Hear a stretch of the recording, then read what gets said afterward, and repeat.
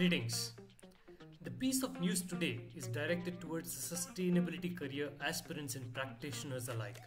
I host training programs and mentoring sessions, and the keen interest to explore sustainability jobs across career bands is obvious.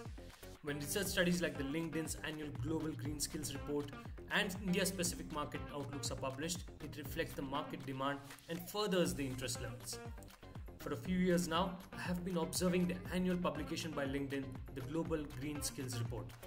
Year after year, it continues to indicate that the supply of green skills isn't able to keep pace with the industry demand globally. This augurs well for both early career and mid career professionals to shape their career profile, making themselves more relevant for global opportunities out there. At the same time, when research pieces like the recent one in Live Mint brings out the India narrative, it puts things in perspective as it zooms in on the local context. For me, the spotlight was on the sectors, the job roles, and the industry need in India that sustainability career aspirants should be preparing themselves for. It is extremely heartening to also note that there is a significant double digit year on year increase in demand expected in India.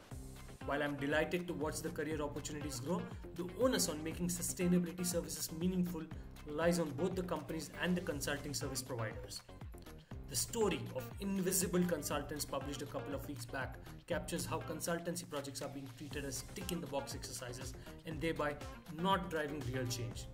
This could harm the bright prospects of growth in consultancy services and hence a word of caution. Having said that, we are surely looking into the future where industry will need increasing support from sustainability consultants.